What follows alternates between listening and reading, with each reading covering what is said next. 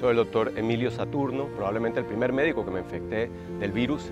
O sea que en ese momento obviamente no se conocía mucho de la enfermedad. Estuve 18 días hospitalizado. Tengo muchos colegas que desgraciadamente han quedado hospitalizados, a veces por meses, y algunos desgraciadamente han perdido la vida. En honor a ustedes, el personal de salud, colegas, médicos que han perdido la batalla, el virus lo paro yo.